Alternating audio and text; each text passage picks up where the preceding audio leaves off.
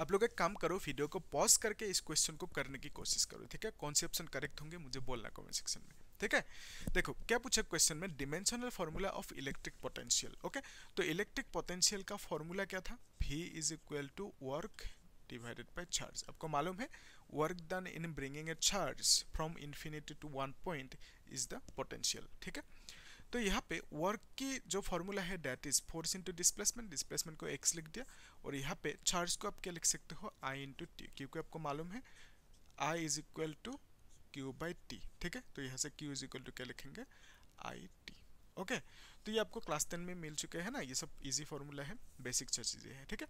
तो यहाँ पे फोर्स की ऐसा यूनिट क्या है? ये याद रखना आप लोग, ठीक है?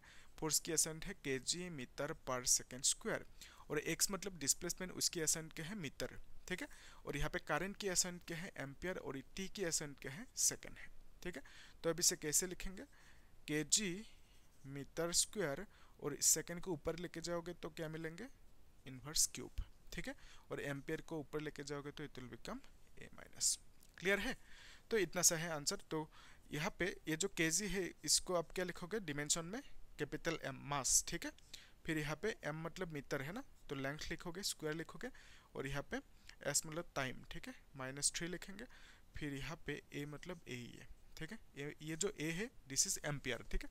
तो कारण की ऐसा यूनिट एम्पियर है और डिमेंशन भी एम्पियर ही है, ठीक है? लेकिन यहाँ पे मास की ऐसा यूनिट के है डिमेंशन के है कैपिटल एम है, ठीक है? दो दिन पर प्रैक्टिस करना आराम से हो जाएँगे, ठीक है? तो कौन से ऑप्शन करेक्ट होंगे? M L square T inverse cube A minus one ठीक है? तो ये option B will be the correct answer ठीक है? तो अगर आपको वीडियो अच्छे से समझ में ये क्वेश्चन समझ में आए तो आप क्या करना? चैनल को सब्सक्राइब करना लाइक करना शेयर भी कर देना, है ना? और आगे भी इस तरह के कंटेंट आपको मिलते रहेंगे, ठीक है? थैंक